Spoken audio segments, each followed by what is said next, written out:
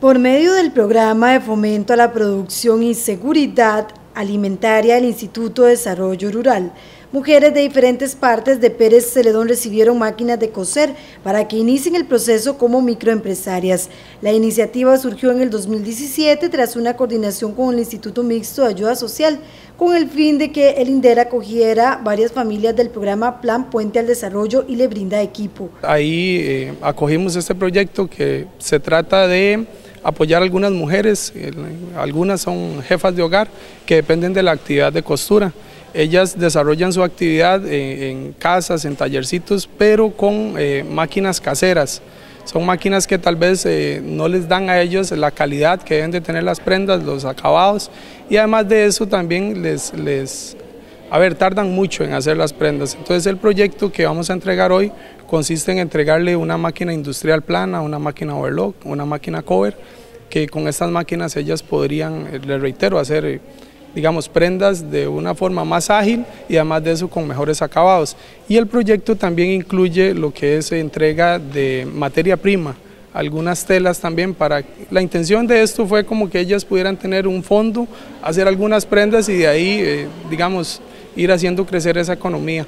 En total se dieron por medio de un convenio de uso 34 máquinas de diferente tipo, lo que significa una inversión de 16 millones y medio de colones, es decir, por familia 1.400.000 colones. El instituto siempre entrega, digamos, ayudas en especie, nosotros nunca damos el dinero, pero cuando esa ayuda incluye la entrega de algún equipo, en este caso las máquinas, lo que se hace es que se firma un convenio eh, de uso. En el convenio queda descrito cuál es la ayuda que se, les está dando. En este caso, el convenio describe el tipo de máquina y el número de serie. El, convenio establece, digamos, varias reglas. Una de ellas es que si la persona deja la actividad, el instituto puede retirar el beneficio para buscar alguna familia que este, lo necesita, porque eh, la intención de la ayuda o los fondos públicos son para que sean bien invertidos.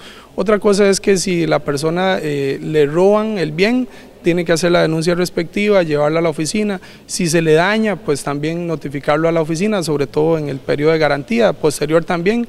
Las beneficiarias son las más complacidas, pues esperan generar ingresos para sus hogares. Bueno, para mí eso es uno de los más sueños que he querido en mi vida y hoy es un día tan feliz gracias a Limas y el INDER que nos dan las oportunidades a las mujeres que estamos eh, empezando a, bueno, a ser una gran diseñadora.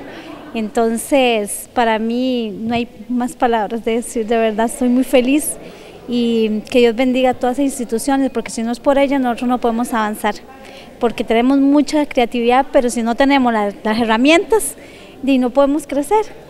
Entonces, demasiadamente feliz y que Dios me los bendiga a todos. Esto es como un sueño hecho realidad, un sueño que empezó de, de una inquietud de aprender a coser y que hoy todas nosotras que estamos aquí estamos orgullosas, ¿verdad?, de, de recibir un regalo tan grande, el regalo de Navidad.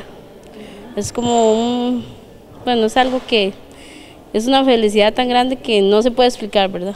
Contentas y ahora ponerle mucho para generar. Sí, a, a, ponerle a trabajar este, para que todo eso tenga sus frutos, ¿verdad?